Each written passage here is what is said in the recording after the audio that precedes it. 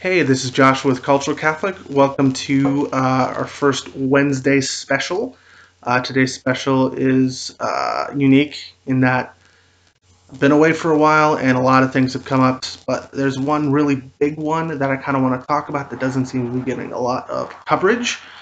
Um, so, today's special uh, and the other video that'll be published today, it's going to be the typical video. I'm going to see, uh, find a few stories that I find interesting. I'm actually pre-recording this, uh, and uh, it'll be a typical one. You'll have little sources appear, um, but for the special, there'll just be links down in the description below.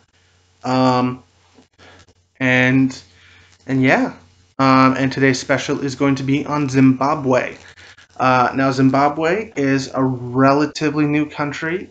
Uh, by relatively, I mean it technically existed before 1983 in the form of Rhodesia, um, but there was a rebellion, uh, and the white minority, which was the government, kind of like South Africa was, um, was overthrown, and uh, black African uh, go uh, led government kind of sprung up in its place. And I really do mean kind of sprung up. Um, the, the problem with colonialism and then uh, apartheid governments in Africa is that it didn't really prepare uh, the people who ended up doing the governing to govern. Um, now there are examples of colonial uh, entities uh, becoming fairly stable governments. Uh, for all of its faults, Kenya is fairly stable, same as Nigeria. Um, and a few North African countries like uh, Tunisia and Algeria. They're again they're fairly stable, but they do have their issues. Uh, but there haven't been like uh, a constant string of massive civil wars or repressive governments, or if there have been, they're largely being replaced. But again, it's it, with uh, with uh, Zimbabwe, it was kind of kind of like um, the the the British Con- the Belgian Congo. It wasn't the the population wasn't really given any educational opportunities. Um, uh, granted, Mugabe was a was a was a teacher before he before he came, became president of Zimbabwe, but um, there was no formal education to kind of to train people to become effective govern uh, government officials and leaders. Um, and it's it's difficult to create a government out of people who are used to fighting. Um, it, soldiers don't always make the best politicians or uh, the most democratic leaders, and uh, Robert Mugabe has been had been president of Zimbabwe effectively since 1983. Um, and he's in his 90s.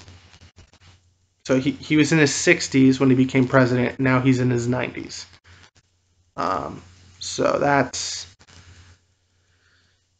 always, not always good, especially since in a dictatorship, they have it's not as easy to pick a successor.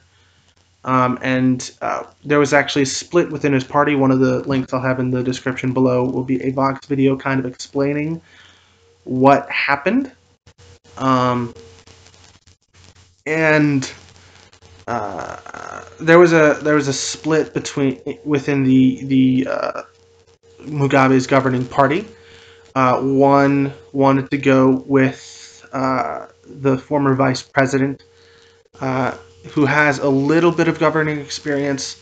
He uh, he kind of knew knows what's going on, uh, and for a while he actually was in charge of um, uh, running the government because again Mugabe super old once you get to a certain point, sometimes it's not as easy to make decisions or remember things that are going on.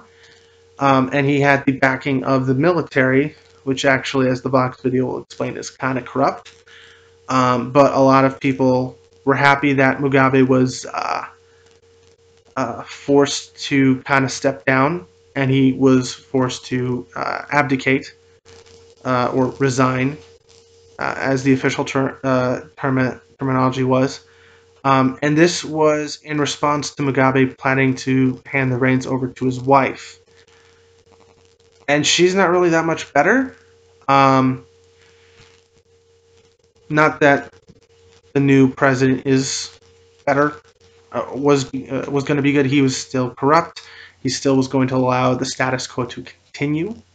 Um, but she kind of wore her corruption on her sleeve by going on shopping sprees and not really, uh, with typical in typical uh, disaffected elite fashion, was kind of ignoring the problems that the regular people are facing.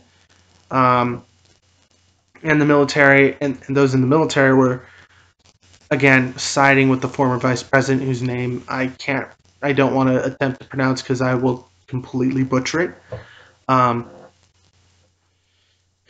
and I don't think they thought with her that they'd be able to use parts of the country as a cash cow because that's because the military, like the government itself, is is very corrupt and is using uh, various industries within the country to enrich itself, like uh, top politicians in Zimbabwe are doing uh, and which isn't uncommon in uh, unstable African uh, African countries, um, which really does stem from I think the colonial aspect of how things were. Not saying that things were perfect before colonialism, but after colonialism, things just got super unstable, especially with all the artificial borders and the various ways that um, colonial powers uh, find ways to govern, either divide and conquer or just picking an ethnic group at random and having them be